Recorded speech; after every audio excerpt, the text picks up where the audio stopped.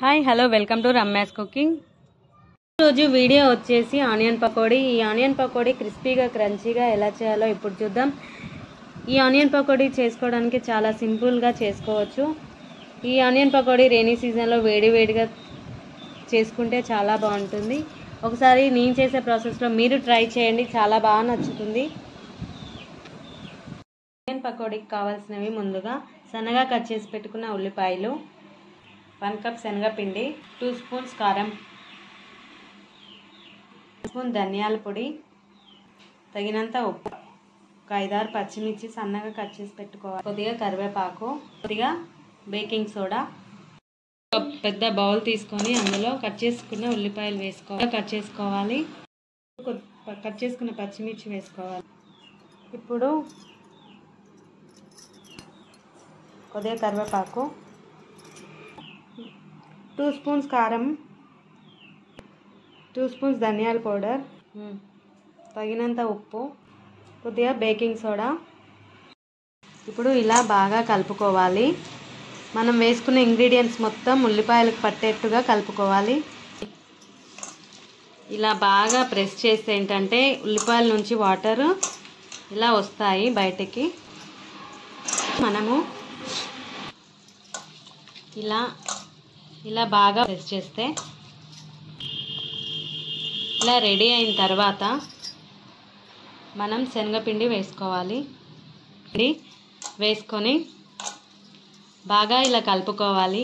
మనం వాటర్ వేసుకోకూడదు. ఈ ఉల్లిపాయల నుంచి వచ్చే వాటర్ తోటే మనం బాగా మిక్స్ చేసుకోవాలి. ఇలా బాగా కలుపుకోవాలి. వాటర్ వేసుకోకుండా ఒకవేళ మనకు గట్టిగా అనిపిస్తే కొద్దిగా వాటర్ యాడ్ చేసుకోవాలి. నాకు సరిగా సరిపోయింది. మనకి ఇప్పుడు రెడీ అయిపోయింది. ఇలా పక్కన పెట్టుకున్న తర్వాత స్టవ్ వెలిగించుకొని ఒక వెడల్పాటి కడాయి పెట్టుకోవాలి. కడాయి వేడయ్యాక డీప్ ఫ్రైకి సరిపోయినంత ఆయిల్ వేసుకోవాలి. ఇప్పుడు ఆయిల్ వేడయ్యాక ఇప్పుడు ఇట్లా ఇలా కొద్ది కొద్దిగా వేసుకోవాలి.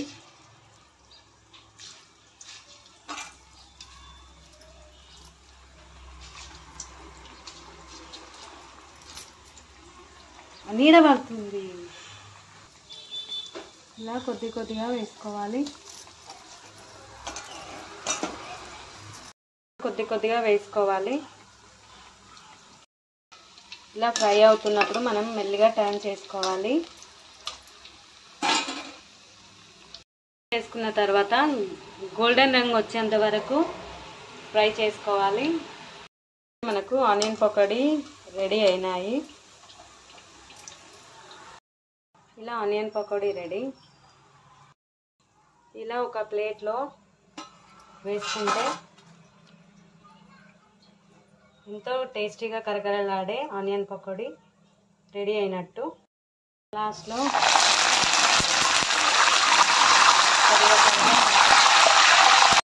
కొద్దిగా కరివేపాకు వేసుకొని వేసుకుంటే ఎంతో crispy and tasty pakoda ready. ఈ వీడియో కనుక మీకు నచ్చినట్టయితే లైక్ చేయండి షేర్ చేయండి సబ్స్క్రైబ్ చేయండి. Thank you for watching